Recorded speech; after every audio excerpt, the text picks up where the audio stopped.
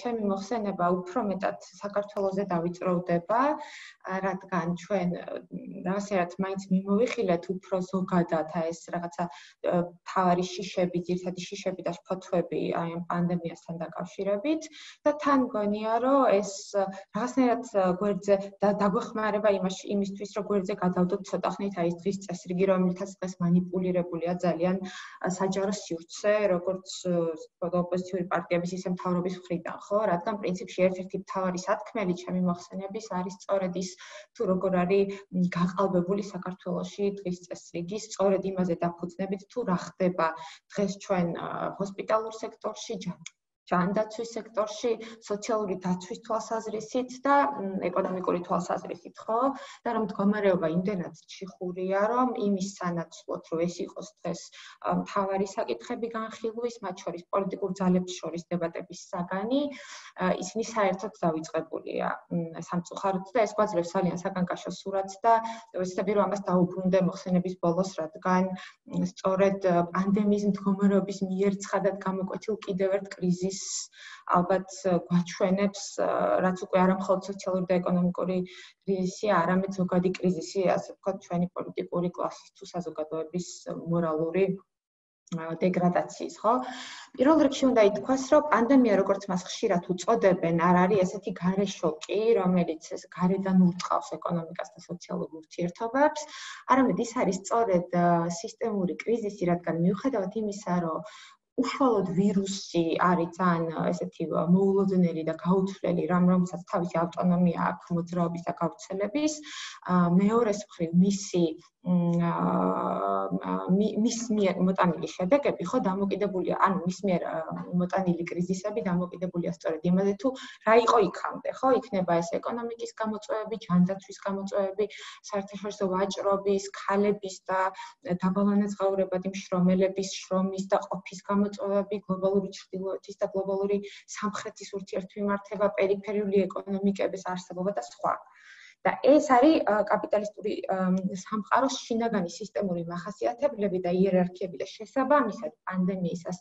უფრო ცენტრალური ხდება თუ როგორ გაუმკლავდება აი ამ სახით ჩამოყალიბებული სისტემები და იერარქიები და ინსტიტუტები აი ამ წამოჭრილ პრობლემებს ხო და რატომ ჯობია რომ აი ასე გავაანალიზოთ საკითხი? იმიტომ რომ ეს ასე გაანალიზება უფრო მეტად პოლიტიკური საკითხია, რომელიც იქამდე არსებულ რეალობაზე უფრო მეტ გვესაუბრება, ვიდრე აი ამ პანდემიის საკუთარ მახასიათებლებზე, ან ვირუსის საკუთარ მახასიათებლებზე.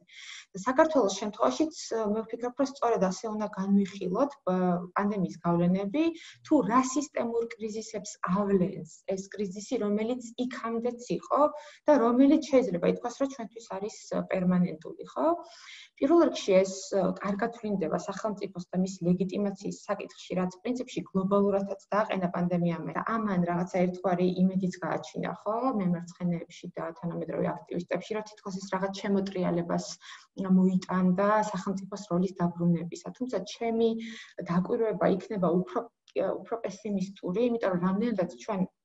თავიდან პირველ ეტაპზე პანდემიის ნახეთ, აი თითქოს აი ამ შემოტრიალების წინაპირობა, დღეს უკვე ჩვენ ხედავთ, რომ მიუხედავად უზარმაზარი ადამიანური დანაკარგისა, სახელმწიფოებმა ამ ხრივ მაინც არ გადადგეს რადიკალური ნაბიჯები. რაც მიუთითებს იმაზე, რომ მათ რაღაც მხრივ ეს ადამიანური სიცოცხლის და ჯანმრთელობის ხარჯზე, აი იმ ეკონომიკური პოლიტიკების შესანარჩუნებლად დაზოგეს, ასე ვთქვათ, რაც იქამდე იყო, ხო? ჩვენ ნახეთ დემოკრატიულ სახელმწიფოებში, იმ სახელმწიფოებში, სადაც ჩვენზე უკეთესად ცხოვრობენ და რომლებისადმიც ჩვენ მივისწრაფით, თვალსაჩინოთ აი ეს დომინაცია ეკონომიკური სფეროსი ყველა სხვა სფეროზე, ხო? როდესაც აი ამ შეზღუდვების არდაწესების გამო და რაღაცა სხვადასხვა რეგულაციების არ მიღების თუ დაგვიანების გამო ძალიან ეს საფრთხის ქვეშ დადგა ადამიანური სიცოცხლე. და აი გიორგი საუბრობდა აი ამ სუვერენულ ძალაუფლებაზე, ხო, რომ თითქოს რაღაცა საგანგებო მდგომარეობის დროს ძალიან ესეთი ცხადად გამოდის ეს სუვერენული ძალაუფლების საკითხი და ჩემი დაკვირვება იქნებოდა აქ სწორედ ის, რომ ჩვენ რაც ნახეთ აი ამ პანდემიის ფონზე სწორედ ის იყო, რომ აი სუვერენული ძალაუფლებაც კი აღარ აიღეს სახელმწიფოებმა და აღარ გამოავლინეს იმ იმ უფრო მაღლა მდგომი ძალაუფლების არ დაზიანების შიშით, რომელიც არის დღეს გლობალური ეკონომიკური ძალაუფლება. ამიტომ შეგვიძლია ალბათ ვთქვათ, რომ პანდემიამ ლეგიტიმაცია მისცა აი ამ რაღაცა საბოლოოდ, აი ამ სახელმწიფოს დაბრუნებაზე ოცნების, ასე ვთქვათ, პესიმი კიდე უფრო პესიმისტური სურათის დანახვას ჩვენთვის, ხო, კრიტიკულად რო შევხედოთ. და საქართველოსთვის რატოა ეს მნიშვნელოვანი და რა მოხდა საქართველოსში ისეთი რაც განსხვავდება და უშუალოდ აი ამ შედარებით განსხვავდება, აი ამ რაღაცა გლობალური აა გლობალური პროცესებისგან მე ვფიქრობ, რომ ჩვენ სწორედ ის დაგვეხმარა რაღაც ეტაპზე, რომ უფრო უფრო დიდი დანაკარგები არ გქონოდა თუნდაც უშუალოდ პანდემიასთან ბრძოლაში პირველ ეტაპზე, რომ ჩვენ ვართ არასაკმარისად განვითარებული კაპიტალისტური ქვეყანა და აი ამ მოსაზრებას ვაკუთვნებ ორ ფაქტორზე, ორ ძირითად ფაქტორზე. ესენია ეკონომიკაში არაფორმალური შრომის და ჭრილოვანი ეკონომიკის მაღალი წილი, რომელიც ისედაც იყო საქართველოში და დღემდე არის. და მეორეა ეს უცხოელი ემიგრანტების ტრანსფერებზე დამოკიდებულების მაღალი წილი, ხო, რომ ჩვენ, ესე იგი, ჩვენ მიგრანტებს რომელებზე ვართ დამოკიდებულები წლებია. და აი ეს ორი რაღაცა ფაქტორი, რომ ეს წლების განმავლობაში უბრალოდ დამალული სექტორები იყო ძირითადი სტატისტიკური ესე მთლიანი სტატისტიკებისთვის,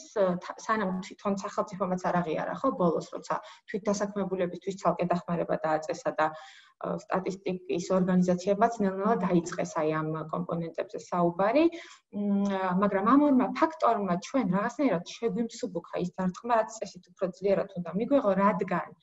ამ სექტორის წილი ასეთი მაღალი რო არ იყოს, ხო, რაც მიუთითებს სწორედ არასაკმარისად ჩამოყალიბებულ საბაზრო ინსტიტუტებზე, რომ აი ამ სექტორების წილი მაღალია. ჩვენ ვერც იქამდე პანდემიამდე აი ამ პერმანენტულ კრიზისს გაუძლებდით და ვიცხოვრობდით იმ ეკონომიკური და სოციალური პოლიტიკებით, რაც არის ჩვენს ქვეყანაში და ვერც აი ამ უცბად თავსატეხილი კრიზისების გამკლავებაში და უშუალოდ რაღაცას გავაკეთებდით, ხო? იმიტომ რომ აა შეიძლება პრინციპში შეიძლება ითქვას, რომ ჩვენ რაღაცნაირად სწორედ აი ეს არასათანადოდ ჩამოყალიბებული კაპიტალისტური ქვეყანა რო ვართ, აი დაგვეხმარა იმაში, რომ ჩვენთან ისედაც კრიზისია, მუდმივად კრიზისია და ამიტომ პანდემიის შედეგები ჩვენთან არ იყო ისეთი ცხადი, როგორიც იყო დაუშვათ ეს განვითარებული კაპიტალისტური ქვეყნებისთვის, ხო, როგორც უცაბედი შოკი. მაგრამ ცხადია ეს არ ნიშნავს, რომ პერიფერიული ქვეყნები და განვითარებადი ქვეყნები უფრო არ დაზარალდნენ პანდემიისას და ასევე არც იმას, რომ ყველაზე მეტად არ დაზარალდნენ სწორედ ღარიბები და დაბალშემო მოსავლიანები და ასევე ქალები. თუმცა ფაქტია, რომ აი ამ რაღაც არასათანადო კაპიტალისტურმა განვითარებამ აჩვენა, რომ ჩვენ ისედაც კრიზისში ვართ, ხო, ისედაც მუდმივ კრიზისში ვართ. და აი რამდენიმე ესეთი ძირითადი მონაცემი, რადგან მე გავამახვილებდი ყურადღებას, რომელიც აჩვენებს გავლენებს საქართველოსზე, საქართველოსზე სოციალურ და ეკონომიკურ გავლენებს პანდემიის, ალბათ საინტერესო იქნებოდა რომ ნახოთ დავუშვათ 2020 წლის მეორე კვარტალში უმუშევრად დარჩენის სტატისტიკა და მასში გენდერული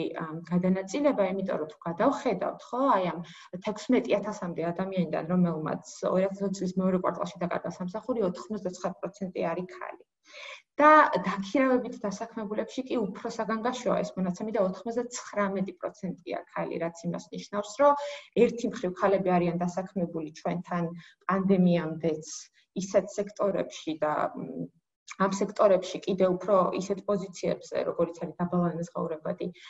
რაც პანდემიისას იკვეცება და მეორე მხრივ რომ ეს შემცირების და შეკვეცის ოპერაციები მოდის სწორედ ქალებზე, ხო? ასევე ძალიან გლობალურად, არამხოლოდ ჩვენთან, რა თქმა უნდა, გლობალურად იმოქმედა პანდემია მასზე ახალგაზრდებზე და მომსახურების სფეროში ჩართულ დაბალშემოსავლიან მშრომელებზე. გარდა ამისა, ჩვენთან ძალიან მნიშვნელოვანი ასევე ფასების ზრდა და ვალუტის გაუფასურება, რაც ნუ ხელფასების გაუფასურებასაც ნიშნავს. და ეხლა ძალიან ისეთი პროცენტები რო არ ჩამოვთვალო, ხო, აი პირდაპირ ვიტყვი, რომ აი პროდუქტებზე და სურსათზე გვაქვს იმხელა ზრდა ფასების და აი რო ჩავშალოთ მართლა თითოეულ კატეგორიას რო დავაკვირდეთ, ხო, იმ ხელა პროცენტული ესე ვთქვათ, ზრდის მონაცემები გვაქვს, რომ ეს პირდაპირ მიუთითებს აი იმ კატასტროფულ რაღაცა სოციალურ შედეგებზე, რაც რასაც ველოდებით და რაც აი ხა აი ამ ამ მომენტისთვის ჩვენთან სავარაუდოდ არის და ცხადია ამას ემატება ჯანდაცვის ხარჯების ზრდა, რომელიც ასევე სტატისტი საქსტატის მონაცემებით გაზრდილია ტრანსპორტის ხარჯების და ეს შემცირებული ხელფასები და ერთი სიტყვით იზრდება სიღარიბე და იზრდება სოციალური დახმარების მიმღებთა რაოდენობაც წლიურად არის გაზრდილი 9%-ით და მათ უმართვიანობაც ხო ამ დახმარების მიღებაზე. არსებითი მშრომელების სექტორი, რომელიც წინა ფრონტზეა, ხო, აი ამ პანდემიასთან ბრძოლაში და ეს არამხოლოდ არის ექიმები და ექთნები და მედმუშაკები, რასაც ნახავთ კიდევ ესე როგორ დამძიმდა მათი ექსპლუატაცია და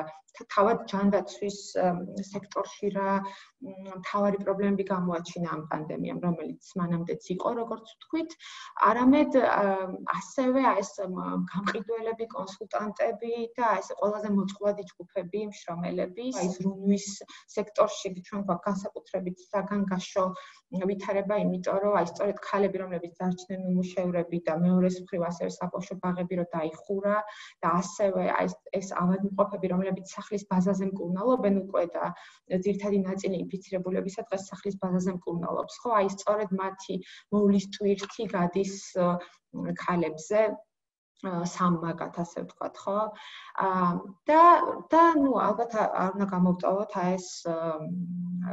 რაღაცა სპარში რო ღამ და რაღაცა სუპერმარკეტებში რო ღამეებს ათენებინებენ ადამიანებს კომენდანტის საათის დროს. და აი ეს აი ეს ვითარება სანამ უშუალოდ ჯანდაცვის სექტორს შევეხებით რომელიც კიდე ყველაზე მსხვილი სექტორია აი ამ რაღაცა საც ყველაზე კატასტროფულად ჩანს დღეს ეს სოციალური შედეგები ხო? და თუნდაც პრივატიზებული ჯანდაცვის შედეგები. აი ეს უკვე გვაძლევს საფუძველს იმისა, რომ ვიფიქროთ თუ რატო არ ხდება, აი ამ ვითარებაში რატო ვერ ხდება დღის წესრიგის საგანი ეს საკითხები და აი солиდარობა რატო არ არის? ამ აი ამ ესე იგი ადამიანების მიმართ თუნდაც ექცნებისა და ექიმების ანაზღაურება რომ არ ყოფილა არც ერთი პოლიტიკური პარტიის თითქმის არც ერთი პოლიტიკური პარტიის წინასაარჩევნო პროგრამაში და აი მთელი ეს რაღაცა წინასაარჩევნო დებატები, რომ საერთოდ არ მიეძღვნა აი ამ პანდემიასთან გამკლავებას, ეს როგორ მიუთითებს იმაზე, რომ ჩვენ კიდევ უფრო ინე დაშორებული ვართ რაღაცნაირად აი იმ რეალობას, რომელიც ძალიან ცხადად არის ჩვენ წინაშე და სწორედ ეს პანდემია აჩვენებს ხო რომ ცხადად არის, იმიტომ რომ თუ იქამდე ეს დებატების საგანია, რომ პრივატიზებული ჯანდაცვა ჯობია, თუ სახელმწიფო ჯანდაცვა, უნივერსალური სოციალური სერვისები ჯობია, თუ რაღაცა კერძო უფრო ეფექტურია, აი აქ უკვე დღის შუქზე გამოდის, რომ არამხოლოდ არაეფექტურია კერძო ჯანდაცვაში, ჯანდაცვის სექტორში კერძო კაპიტალის წილი და როდესაც აი ესეთი მნიშვნელოვანი საგანგებო ვითარება დგება, ხო? არამედ ფუნქციურად მას შეუძლებელია, რომ აქ რაღაცა გადამწყვეტი როლი ითამაშოს, იმიტომ რომ როგორც ვიცით, მას კომერციული ინტერესი აქვს და რაღაცა კორპორატიული ინტერესი აქვს, ხო? და არა სიცოცხლის და ჯანმრთელობის შენარჩუნების ინტერესი, ხო? და რომ ეს ჯანდაცვა რო არ არის ბიზნესი და სერვისი ყველაზე კარგად ჩანს დღეს. თანაც ეს ჯანდაცვის სექტორი არ არის მხოლოდ საკუთრების ფორმა და არ არის მხოლოდ ბავშვთა ეს ჰოსპიტალური სექტორი, რომლის 95% ჩვენთან არის პრივატიზებული, ხო? არამედ ეს არის სწორედ ეს ექიმებისა და ექცნების შრომითი პირობები და შრომითი ურთიერთობა, რაც არ მხოლოდ იმიტომ მნიშვნელოვანი, რომ ეს ადამიანები დღეს მართლა რაღაცა წინა ფრონტზე ძალიან მიზერული ანაზღაურების სანაცვლოდ და ძალიან ცუდ შრომით პირობებში მუშაობენ, არამედ იმიტომაც, რომ თავად ვირუსის გავრცელების და დაავადებასთან ბრძოლის ეფექტურობა არის მიგმული მათ ამ ანაზღაურებასა და შრომის პირობებზე, ხო? იმიტომ რომ გვაქვს შემთხვევები, რომ აი ექთნები რო წერენ, რომ მათი დაინფიცირება მოხდა სწორედ იმის გამო, რომ ისინი აი ამ რაღაცა ძალიან დიდ ცვლაში მუშაობისგან იმდენად იტვირთებიან, რომ ვეღარ იცავენ აი ამ ელემენტარულ წესებს და ასეთი და ნუ აი ძალიან ისეთი მონაცემები არ არის მაგალითად რომ აი ერთ ლარდა 84 სუხდიან საათში საშუალოდ აი ამ ექცნებს თან ახლა არის გამოცხადებული მობილიზაცია მაქსიმალური სახელმწიფოს მხრიდან პენსიონერი ექიმების კი ჩართეს და სტუდენტები არიან ჩართული აი ამ კოვიდთან ბრძოლაში, იმიტომ რომ ადამიანური რესურსი ჩვენი ჯანდაცვის სექტორს არ ყოფნის და არის შემთხვევები ასევე, რომ აი სანიტრებად ასაქმებენ და ექთნის მოვალეობას ასრულებენ, სადაც საშუალო ხელფასი არის რაღაც არის 160 ლარი და 300 ლარი ექცნების საშუალო ხელფასი, რაც ვიცით, ხო? და აი ამ ფონზე სწორედ ამ დროს არის აუცილებელი солиდარობა ამ ამ მხრივ და ეს არამხოლოდ აი ამ წინა ხაზზე მყოფ ადამიანთა солиდარობის მიმართ солиდარობაში უნდა გამოიხატოთ, არამედ იმ солиდარობაშიც, რომლებიც რომელიც მდგომარეობს, აი, სწორედ სახლში დარჩენილ ადამიანებში, რომლებიც მკურნალობენ, ხო? აი, რაღაცა მოსახლეობის მიმართ ერთმანეთის სოლიდარობაში, იმიტომ რომ სიტუაცია არის ესეთი, ხო? გიორგიმ ომს შეატარა საგანგებო სიტუაცია და გარკვეულწილად მართლა რაღაცა რაღაცნაირად გავს, ხო, ეს ამ საომარ მდგომარეობას, როცა აი ადამიანური რესურსიც კი ვეღარ აუდის, ესე ადამიანების მოვლას და ძალიან საჭიროა სოლიდარობა, არ მხოლოდ სოციალური, არამედ ასე ვთქვათ ადამიანური. სოლიდარული და აი ამ სოლიდარობას რომ ვერ ქმნი ვერ ქმნის დღევანდელი მდგომარეობა, აი ეს ძალიან პესიმისტური საკითხია, იმიტომ რომ თუ ეს არ წარმოშობს სოლიდარობას, მაშინ რამ უნდა წარმოშოს, ხო? თუ ეს არ დააბრუნებს სახელმწიფოს როლს, მაშინ რამ უნდა დააბრუნოს, ხო? თუ ეს არ უბიძგებს მთავრობას, რომ აი ეკონომიკური განვითარების კურსი შეცვალოს, რადგან ჩვენ მოვისმინეთ ხო პირველ ეტაპზე პანდემიის საუბრები რომ რაღაცა უცბად რო ეს ტურიზმზე ორიენტირებული მთელი ეკონომიკური პოლიტიკა და ეს ეკონომიკური პოლიტიკაზე პასუხისმგებელი პირები უცბად ალაპარაკდნენ ადგილობრივი მრეწველობის განვითარებაზე და ინდუსტრიულ პოლიტიკაზე, მაგრამ ეს რა თქმა უნდა დროებითი იყო და ესე იგი ისევ ჩვენ რაღაცა როგორც ვთქვით, როგორც კი ოდნავ რაღაცა გადავაგორეთ ეს პირველი ტალღა, მაშინვე კიდევ უფრო აგრესიულად მიუბრუნდით აი ამ პოლიტიკებს, ხო, რაღაცა სამშენებლო ბიზნესის სუბსიდირება დავიწყეთ, ანუ მოთხოვნის სუბსიდირება სამშენებლო ბიზნესის მოთხოვნაზე და ეს შევფუთეთ რაღაც საბინაო პოლიტიკის სუბსიდირების სახელით და აი ესეთი ტიპის რაღაცა გადაწყვეტილებებით და აი ეს არის ძალიან, ჩემთვის ძალიან ესეთი მკივნეული, რომ აი, როდესაც აი ესეთი ცხადი და ესეთი მძიმე რეალობა ვერ წარმოშობს აი ამ დაბრუნებას, სახელმწიფოში ვერ წარმოშობს აი ამ солиდარობას და დღის წესრიგი არის რაღაცნაირად სრულიად გაყალბებული და მედიებიც კი არ აქცევენ სათანადო ყურადღებას არათუ პოლიტიკური ძალები, ხო, და არათუ რაღაცა პოლიტიკური პროცესები, რომელიც მიდის, თუ რა ხდება დღეს რეალურად სავადმყოფოებში და რა ხდება ოჯახებში ეს ეს ალბათ მიუთითებს აი იმაზე რომ რაღაცნაირად ტოტალურად გაყალბებულია დღეს ჩვენი რეალობა და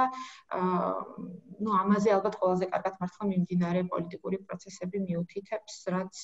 ორივე ძალას ხო? მართლ ძალასაც და ოპოზიციასაც ძალიან კარგად აძლევს საშუალებას რომ ყველა ამ ყველაზე მწვავე საკითხებს გვერდი აუარონ და რაღაცა ძალიან манипуляციურ ველში მოაქცია ეს დღევანდელი პროცესი.